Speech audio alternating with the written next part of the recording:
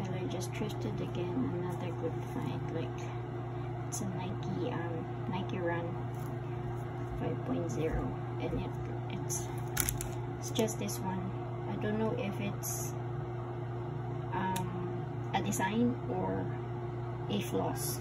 Like probably it's a floss, right? But everything is really clean, and it's still lots and lots of uh, life in it actually. It's not it's barely used as far as I can think uh, as far as I can see I mean. It's just that I just don't know if probably because the sole is still very nice. Look at that. It's just six dollars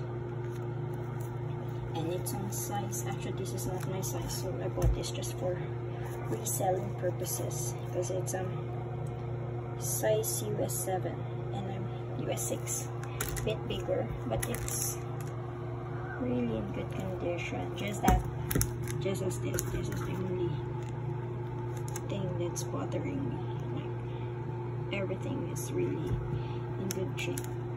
And the color isn't really bad. I mean I like the purple one but anyway hope this sells well